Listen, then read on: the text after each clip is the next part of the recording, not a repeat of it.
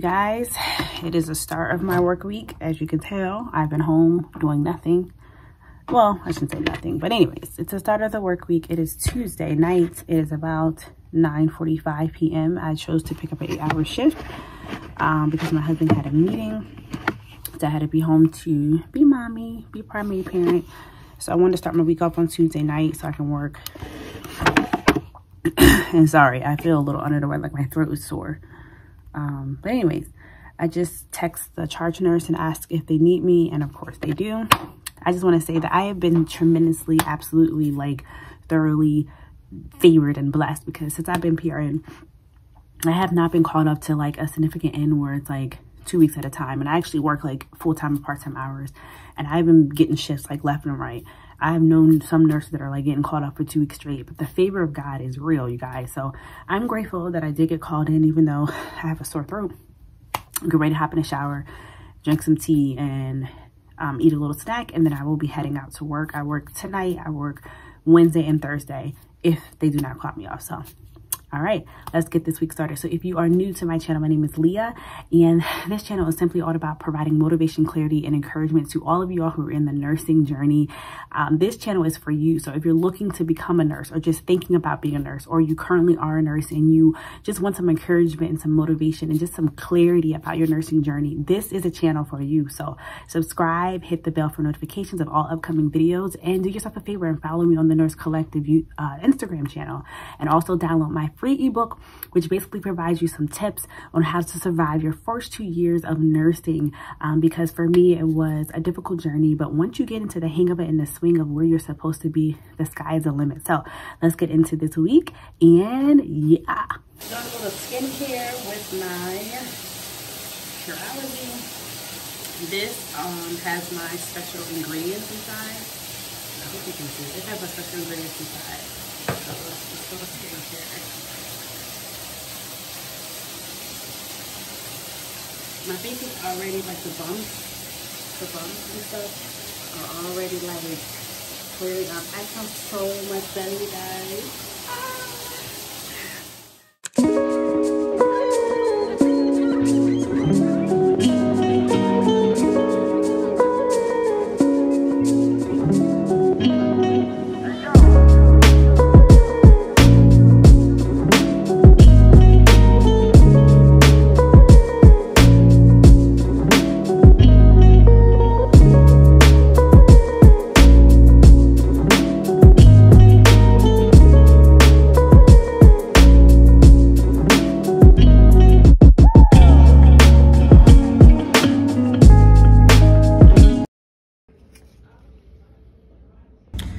Okay, so even though I did get to work at 11, I'm like just now getting up, gonna go like care for my patients. It just takes a while to transition because a nurse it left and then I had to take on her patient. So she already did everything she was trying to finalize and she didn't know she was leaving. So there's kind of like a some time that happens. So some of the patients are like, if you came in at 11, why are you just not coming in? My patients are, they will call you out and make you seem like you're a bad nurse, but that's just the reality of the situation.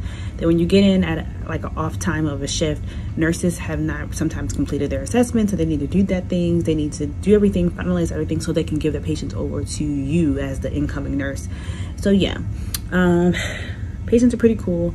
So I'm just trying to make sure everyone's up to date on their payments, make sure everyone's okay so that I can do my assessment. And then I'm just going to be maintaining um, for the rest of the shift. Okay, so I finally completed my head to toe assessment on all my patients and actually um, given all meds that needed to be given. Even though I came in at 11, there were just uh, a couple things just to give. And so I'm charting whenever you come in, whether it's, you know, for four hours or whenever you take on patients, you have to chart a full head to toe assessment. So that's what I'm doing right now. So it's about 2.42 and um, I have finally finished like doing my head to toe assessments, like charting them. I took my time I think I'm coming out with a cold, but anyways, I'm here. I'm eating lunch. This is lunch today.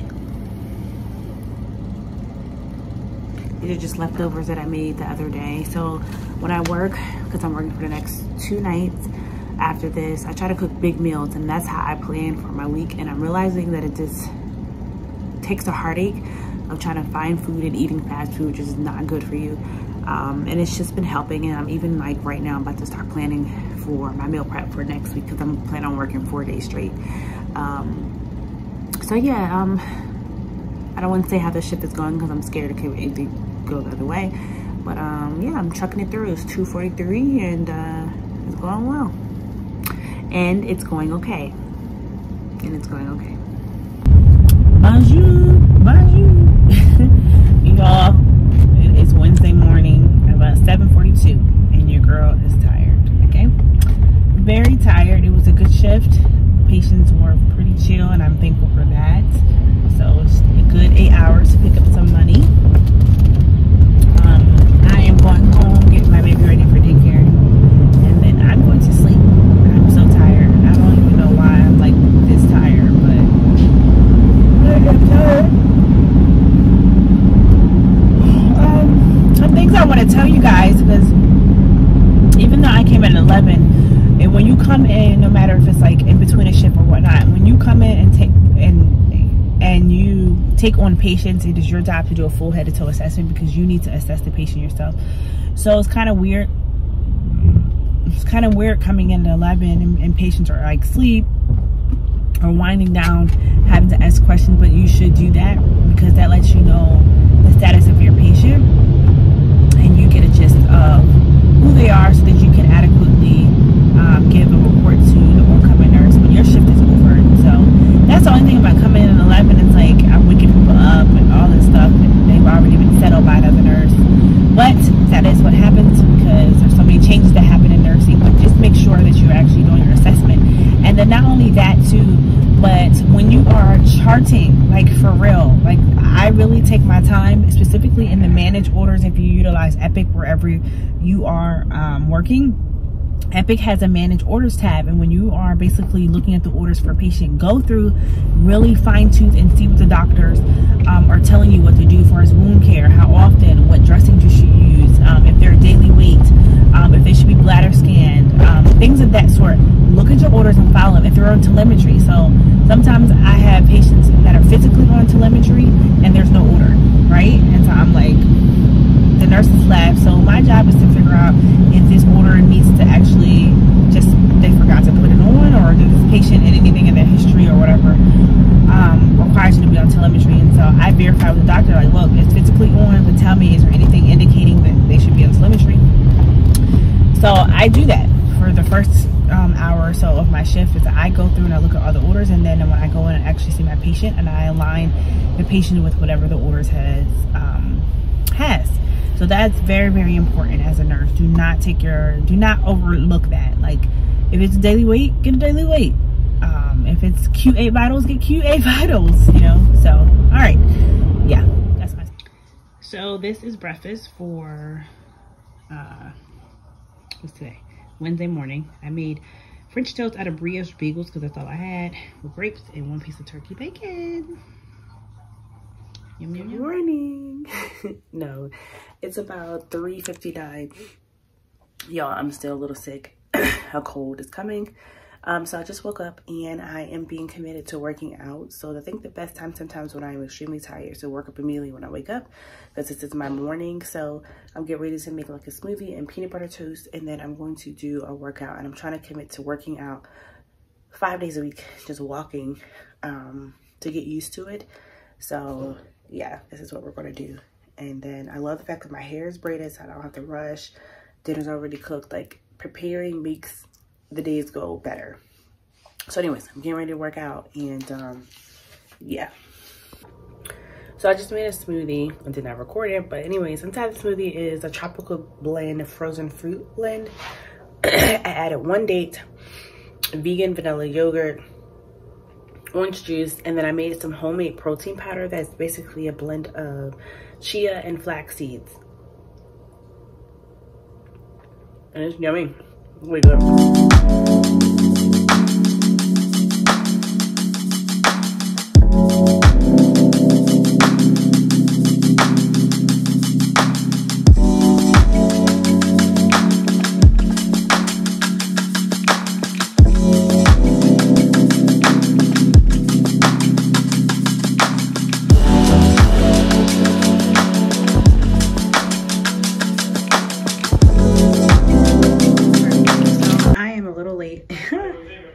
This is, bye!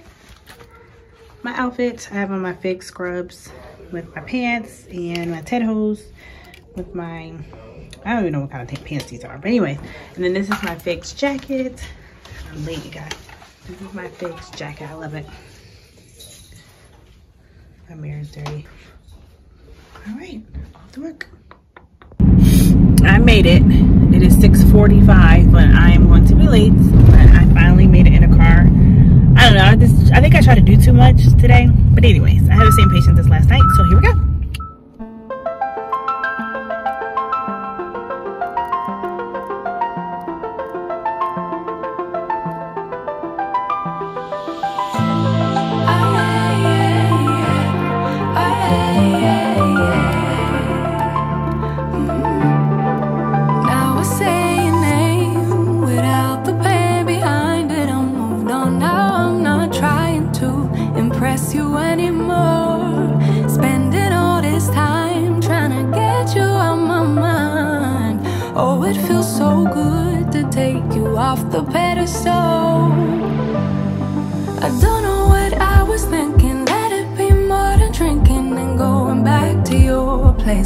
Never to see you again. That was simply delusion, followed up with confusion. That was just substitution for a lonely bed. So that's impressive,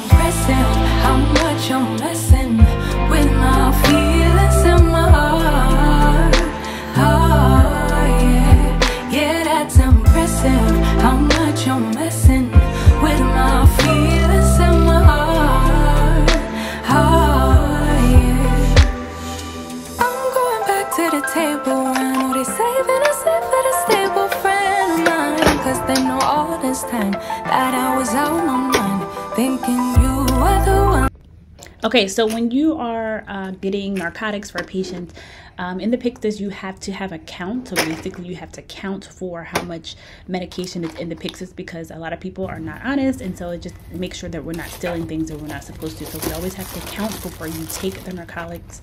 Narcotics. Um, so that's what I'm doing right now.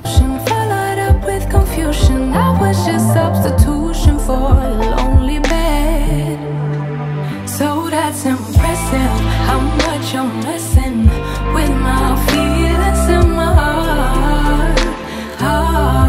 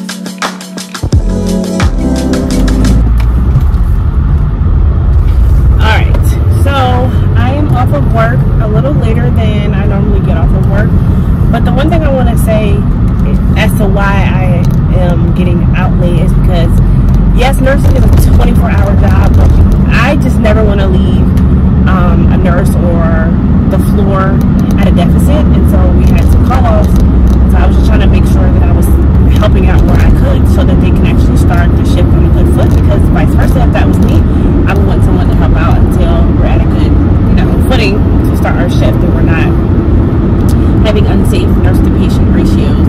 But one thing that I want to say is as nurses we deal a lot with doctors.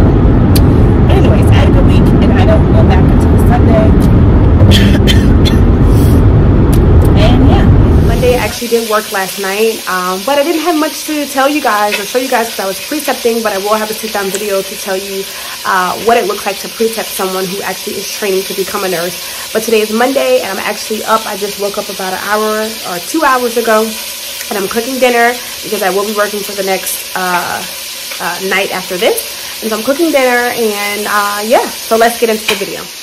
All right, so I'm making curry chicken. I have all my things chopped up. This is the yellow potatoes, the yellow onions. Um, this is the green pepper or the red onions. Um, and this is currently browning. So the first step is actually complete. So here we go. I already made the light brown rice right here. All right, so I added in, I took the chicken out and put it in a container, which is right here. Um, into the same pot, I added some yellow onions, some red onions, some fresh thyme, and I think that was it. I'm going to add some green onions. So I'm going to let this kind of, let the uh, onions become translucent for a little bit. Okay, so to the pot, I basically, ooh, to the pot. So to the pot, I added the yellow potatoes, a little brown sugar, some curry powder, uh, green onions, and green peppers. So I'm going to let this kind of cook down a little bit. And I'm going to add the, uh, oh, actually I added some, um, nothing, what is that? Better than bouillon, vegetable, and chicken um, broth there. Just a little flavor. Um.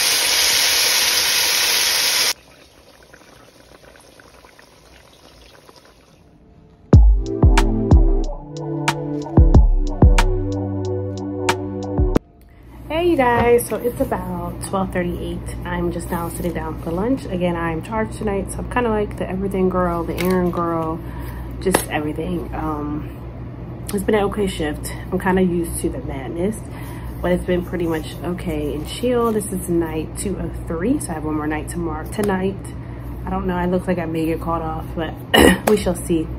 Um, I guess the thing that I want to share is about when you're charge nurse. I know a lot of people look at the amount of patients and say, well, charge nurse doesn't really have anything to do. And I say this all the time, but like when you're charged, you really do have to be helpful to others because nurses are drowning and it's not your time to just sit there and chill.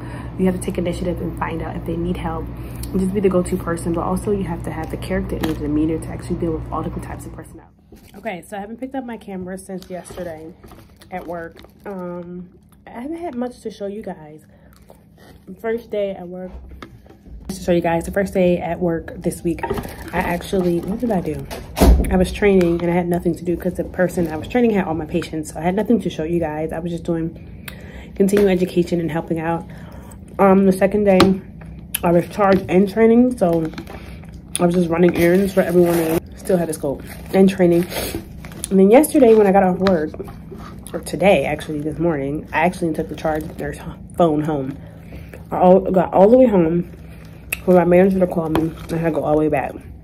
And I don't know which y'all, I don't know if any of y'all work night shift, but when you work nights and you get off work, you are tired. And driving, are you tired is not good. So I made it home. I thought I would get called off tonight, but I did not. So I'm here. And I'm glad because I won all my money. It's my last night until Monday of next week. And then I'll do another three. But so far today has been just a little challenging. Um, my patients are not bad. It's still a lot going on. I'm realizing